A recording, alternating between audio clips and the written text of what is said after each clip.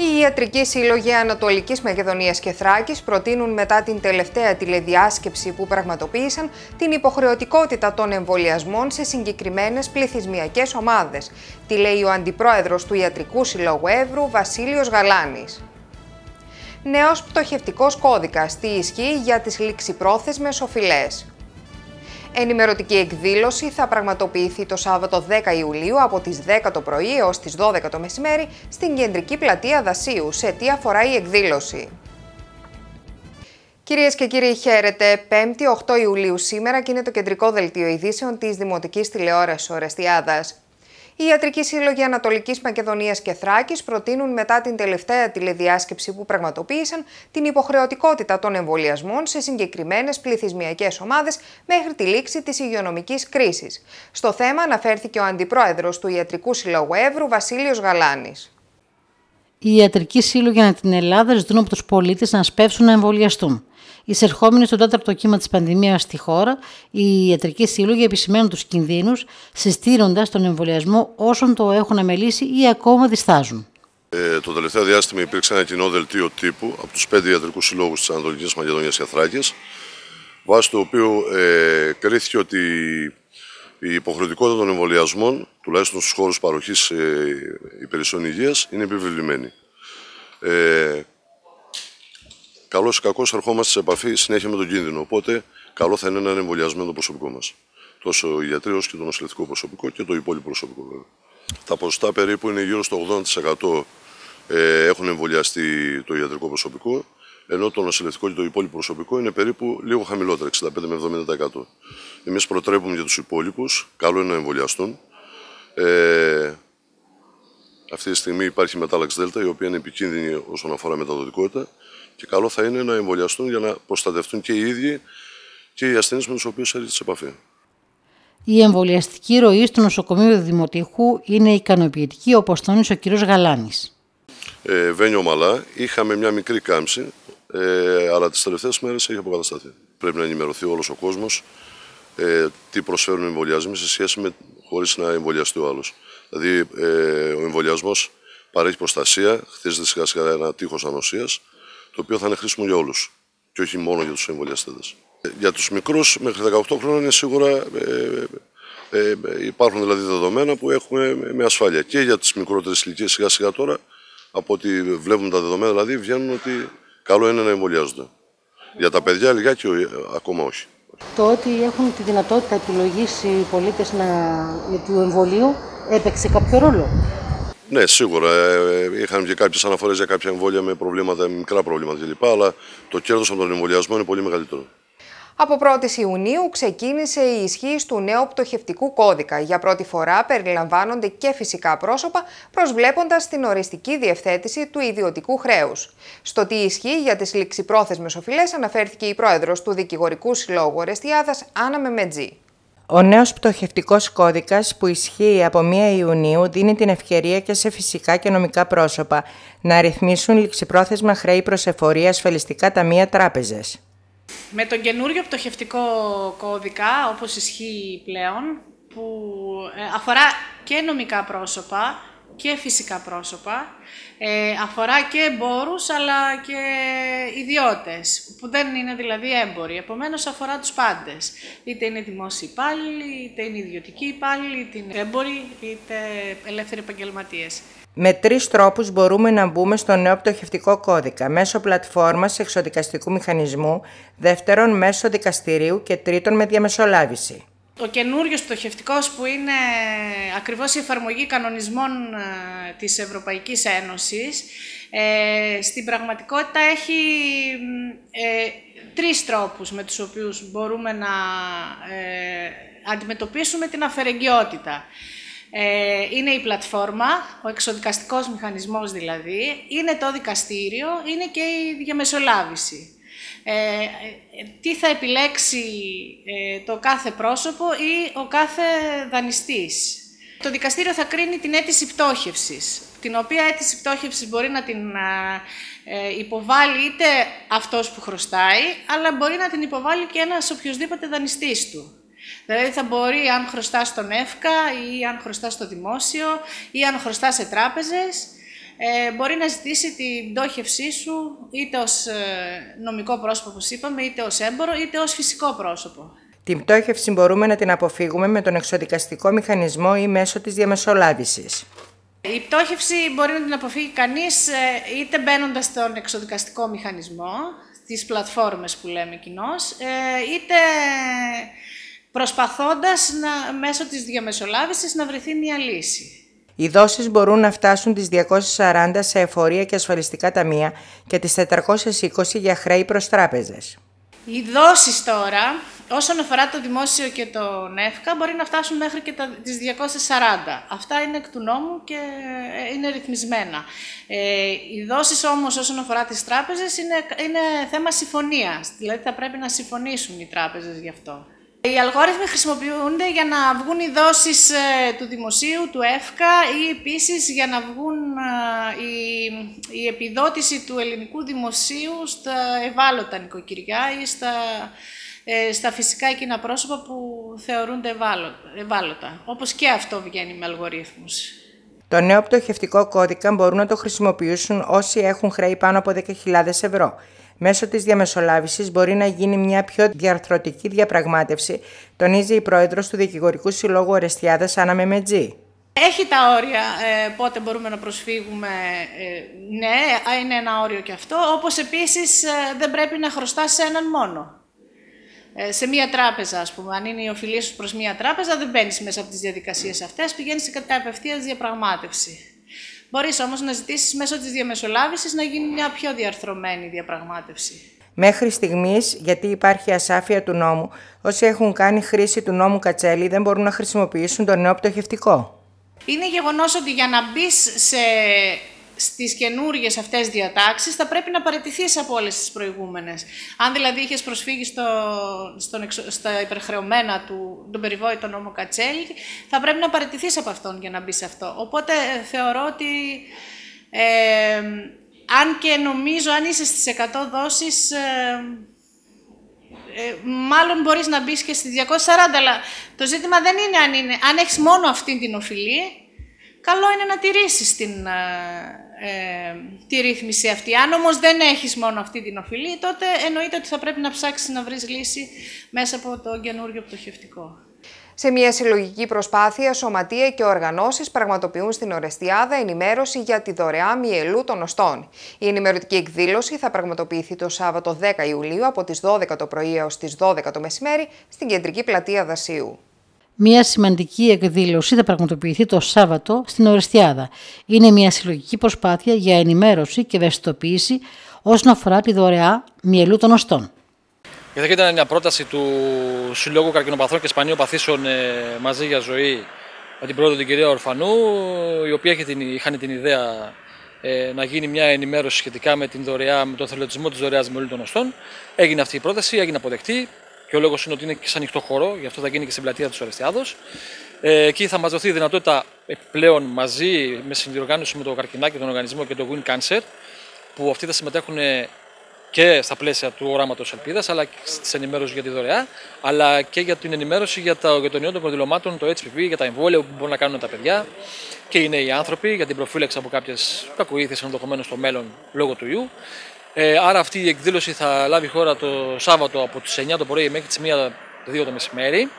Εκεί θα γίνει ενημέρωση ε, κατά κύριο λόγο για τον εθελοντισμό της ε, δωρεάς μυελού των οστών και θα δοθεί και η δυνατότητα όποιος επιθυμεί να γίνει και δότης, εθελοντής δότης μυελού των οστών. Ε, υπάρχει επαρκής ενημέρωση όσον αφορά την ενθάρρυνση ε, δωρητών μυελού των οστών; Ε, θεωρώ ότι Υπάρχει, υπάρχει, αλλά θέλει ακόμη περισσότερο. Γι' αυτό και αυτές οι δράσεις έχουν αυτό το σκοπό. Και όσο περισσότερες κάνουμε και όσο περισσότερο ενημερώνουμε τον κόσμο, γιατί εδώ κατά κύριο λόγο είναι η σωστή ενημέρωση. Γιατί πολλοί κόσμοι νομίζουν ότι θα γίνω ο θελοντής δότη μιλού των οστών και αν θα βρεθεί ένα παραδείγμα θα μου τρυπήσουν τη σπονδυλική στήλη και ξέρω εγώ. Και όλα αυτά δεν ισχύουν. Έτσι. Λοιπόν, αυτό θέλουμε να κάνουμε, να ενημερώσουμε σωστά τον κόσμο, γιατί η σωστή ενημέρωση ε, έχει αποτέλεσμα τη σωστή απόφαση θα πάρουμε, γιατί είναι ένα μεγάλο έργο αυτό ε, ο εθελοντισμός για τη δωρεά μελού των οστών. Είναι ένα θαύμα ζωής, γιατί πρέπει να ξέρετε ότι ε, εκεί που κάποιος άνθρωπος περιμένει την ελπίδα για να ζήσει, αν βρεθεί συμβατός και τον βοηθήσεις, θα του σώσει τη ζωή. Επομένως είναι κάτι τρομερό. Αν, αν μπορέσει κάποιος να το συλλάβει έτσι να το, να, το, να το σκεφτεί πιο βαθιά, θα δει ότι σώζεις έναν άνθρωπο, σώζεις μια ανθρώπινη ζωή, ένας συνάνθρωπό μας. Και αυτό που θέλω να πω πλέον είναι ότι επειδή υπάρχουν και γενετικές ομοιότητες στην δωρεά μήλο των οστών, όσο και πολλοί Έλληνες γίνουμε, τόσο μεγαλύτερες πιθανότητες υπάρχει ένας ε, ομοεθνής μας να βρεθεί συμβατός, ε, να είναι συμβατός ε, λόγω των κοινωνικών ομοιοτήτων. Σίγουρα συμβάλλουμε και στην Παγκόσμια Τράπεζα, που για την Ελλάδα μας είναι ένα σημαντικό κομμάτι, γιατί βοηθάμε την ανθρωπότητα. Αλλά ε, είναι καλό να ενημερωνόμαστε σωστά, ώστε να πολλαπλασιαστούμε, να γεμίσουμε τη δεξαμενή όσο περισσότερο μπορούμε, ώστε να φτάσουμε σε μια επάρκεια 70 80% να έχουμε πιθανότητα να βρεθεί συμβατός δότης. Οι ηλικίες που μπορούν να γίνουν δωρητές μυαλού των οστών είναι από 18 έως 45 ετών ηλικίες είναι από 18 μέχρι 40-45 ετών και σίγουρα τα δείγματα μπορεί να κρατηθούν λίγο παραπάνω, αλλά κατά κύριο λόγο οι ηλικίες είναι από 18 μέχρι 40-45 ετών. Ε, κάποιες παθήσεις που κάποιος δεν μπορεί να γίνει σηματός είναι κάποιες κακοήθειες που μπορεί να έχει προσβληθεί από κάποια κακοήθεια, κάποια αυτοάνωσα νοσήματα ε, εκείνη την ημέρα θα μας δοθεί κιόλας η ευκαιρία. Επιπλέον, όποιος θέλει να ενημερωθεί μπορεί να μπει και στο όραμα ελπίδας που είναι όραμαελπίδα.gr, στο Σύλλογο Καρκινοπαθών μαζί για ζωή ε, και σπανίου παθήσεων, στο Καρκινάκι, στο Win Cancer. Ε, όλα αυτά υπάρχουν στο διαδίκτυο. Που αν μπορεί να ενημερωθεί και να έρθει και πιο έτοιμος εκείνη την ημέρα, ώστε να έχει και κάποιες ερωτήσεις που μπορεί να κάνει προετοιμασμένος, ακόμα καλύτερα. Εμείς θα είμαστε εκεί το πρωί, από τις 9 μέχρι τις 1 και ελπίζω να γεμίσουμε αρκετά. Έχουμε ξανακάνει βέβαια και άλλες εκδηλώσεις στην περιοχή μας και είχαμε και κάποια θετικά έτσι, αποτελέσματα. Ε, η πρώτη που γίνεται έξω και αυτό γίνεται για το λόγο ότι και λόγω των ημερών που περνάμε λόγω του κορονοϊού υπάρχει πιο μεγάλη ασφάλεια γιατί είναι ανοιχτός χώρος, δεν υπάρχει συνοσισμό. Όλοι όσοι συμμετέχουμε εκεί εμείς είμαστε εμβολιασμένοι. Ε, και αυτό είναι μια προφύλαξη που δίνουμε και προς τους υπόλοιπους, γιατί μπορεί να έρθει κάποιος ο οποίος να μην έχει εμβολιαστεί και να θέλει να ενημερωθεί. Εμείς όμως σήμερα θα είμαστε εκεί ε, και έχουμε φροντίσει γι' αυτό.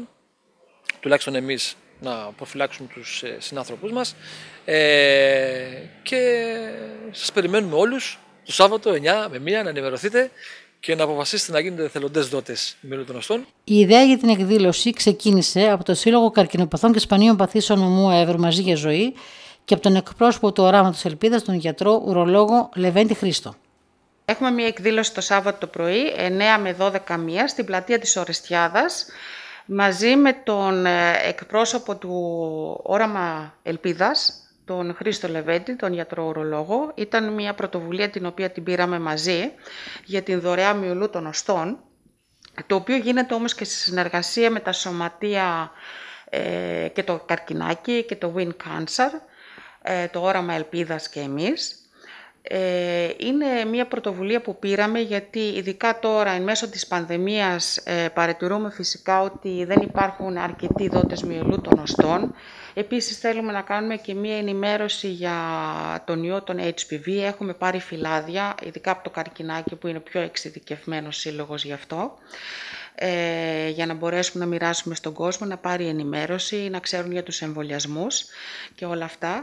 Ε, και σίγουρα ε, ελπίζουμε πραγματικά να έχουμε ανταπόκριση, να έρθει ο κόσμος να έρθει να δώσει δείγμα σε ηλικίες από 18 μέχρι 45 ετών. Είναι πολύ σημαντικό να υπάρχουν εδώτες και αυτό το μήνυμα που θα ήθελα εγώ να δώσω λιγάκι, εκτός ότι τους ευχαριστώ όλους για τη συνεργασία, όπως και τον Χρήστο το Λεβέντη, είναι ότι πραγματικά ε, γίνε και εσύ το θαύμα ζωής και δώσε ζωή σε έναν συνάνθρωπό σου με αυτή την κίνηση. Δεν είναι κάτι φοβερό, δεν είναι κάτι που πονάει, είναι μια πολύ μικρή επέμβαση, σχετικά θα έλεγα ανώδυνη μπροστά σε αυτήν που περνάει κάποιος που είναι άρρωστος, σώζει ζωές και δίνει ζωή στον συνάνθρωπό σου. Μία σύνοψη του διετούς βουλευτικού έργου του από τις 7 Ιουλίου 2019 έως τις 7 Ιουλίου 2021 σε δύο λεπτά κάνει ο βουλευτής Εύρου της Νέας Δημοκρατίας Αναστάσιος Δημοσχάκης σε ένα περιεκτικό βίντεο.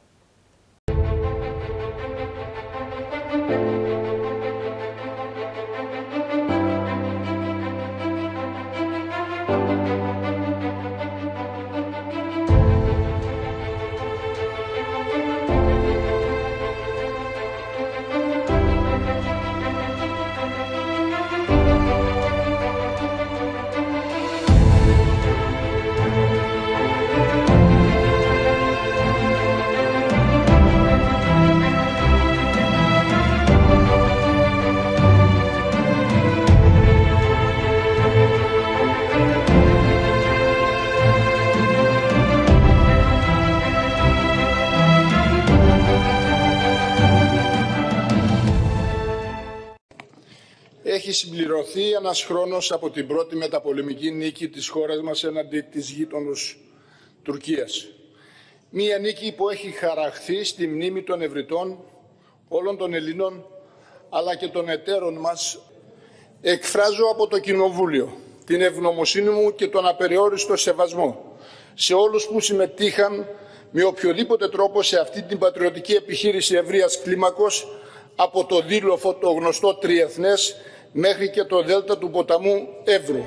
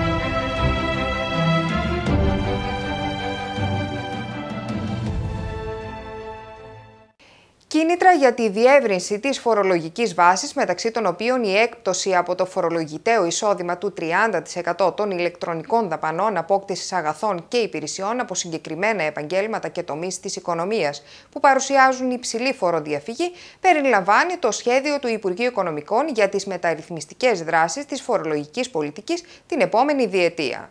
Οι ηλεκτρονικές πληρωμές δαπανών και υπηρεσιών από συγκεκριμένους τομείς, τους οποίους θα προσδιορίσει το Υπουργείο Οικονομικών, θα οδηγούν σε μεγαλύτερη μείωση φόρου ως κίνητρο για την περιστολή της φοροδιαφυγής.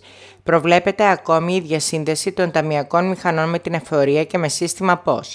Οι μεταρρυθμιστικές δράσεις της φορολογικής πολιτικής για την επόμενη διετία καταγράφονται στον απολογισμό έργου της διετίας που έδωσε στη δημοσιότητα το Υπουργείο Οικονομικών αναλυτικά είναι η εξής. Περαιτέρω διεύρυνση της φορολογικής βάσης με ενίσχυση των ηλεκτρονικών συναλλαγών μέσω της παροχής κινήτρων για συγκεκριμένα φορολογικά έτη 2021 έως και 2025, όπως έκπτωση από το φορολογητέο εισόδημα του φυσικού προσώπου του 30% των δαπανών απόκτησης αγαθών και λήψης υπηρεσιών που πραγματοποιούνται με ηλεκτρονικά μέσα πληρωμής σε ορισμένους τομείς της οικονομίας όπου παρατηρείται υψηλή φοροδιαφυγή ενίσχυση της πράσινης οικονομίας και ψηφιοποίησης μέσω της παροχής κινήτρων προς αυξημένης έκπτωσης για δαπάνες που αφορούν σε αυτούς τους τομείς της οικονομίας. Απλοποίηση του φορολογικού συστήματος όπως κωδικοποίηση της φορολογικής νομοθεσίας που σκοπό έχει την ενίσχυση της διαφάνειας και της ασφάλειας δικαίου με την ενίσχυση της φορολογικής συμμόρφωσης μέσα από την αντιμετώπιση της πολυνομίας ψηφιοποίηση των φορολογικών ελέγχων και διασύνδεση των ταμιακών μηχανών με τη φορολογική αρχή και με συστήματα POS με στόχο τη μείωση της φοροδιαφυγής και τη δημιουργία δημοσιονομικού χώρου. Η περιήγηση στο Δήμο Ρεστιάδα συνεχίζεται. Σήμερα θα ταξιδέψουμε στη Μικρή Δοξιπάρα. Η Μικρή Δοξιπάρα βρίσκεται στον Βόρειο Εύρο προς τα σύνορα με τη μεθοριακή γραμμή της Ελλάδας με τη Βουλγαρία και απέχει δυτικά από την Ορεστιάδα 27,5 χιλιόμετρα. Σε τοποθεσία νοτιοδυτικά του χωριού και ανάμεσα στα χωριά Ζώνη και Χελιδόνα υπάρχει τούμπα, τύμβος δηλαδή, διαμέτρου 60 μέτρων και ύψος 7,5 που κατασκευάστηκε σταδιακά στις αρχές του 2ου αιώνα πάνω σε φυσικό ύψωμα ώστε ο τύμβος να είναι ορατός από μακριά και βρισκόταν στον δρόμο που ένωνε την Αδριανούπολη με την Φιλιππούπολη. Σε αυτόν ενταφιάστηκαν μετά από καύση τέσσερα μέλη μιας πλούσιας οικογένειας γεωκτημόνων και δίπλα τα κτερίσματά τους πέντε άμαξες που τους μετέφεραν στην περιοχή του Τύμβου, τα υποζύγια τους και πέντε ακόμη άλογα. Η περιοχή από το 2011 έχει κηρυχθεί αρχαιολογικός χώρος με την ονομασία Τύμβος Μικρής Δοξιπάρα Ζώνης. Ο οικισμό της Μικρής Δοξιπάρα αναφέρεται επίσημα το 1924 να προσαρτάται στην τότε κοινότητα Ζώνης. Σύμφωνα με το πρόγραμμα Κράτη, μαζί με τη Ζώνη και τη Χιλιδόνα, αποτελούν η τοπική κοινότητα Ζώνης που ανήκει στη Δημοτική Ενότητα Κυπρίνου του Δήμου Ορεστιάδας.